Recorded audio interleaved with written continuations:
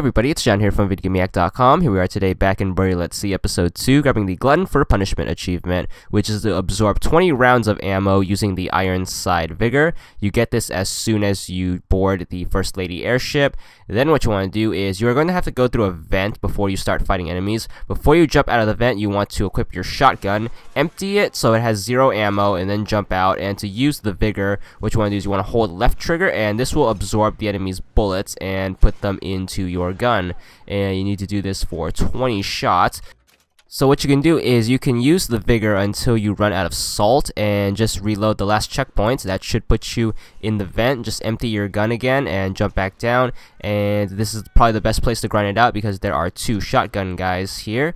And once you get your 20, you should get the achievement for a 10 gamer score. And that's all there is to it.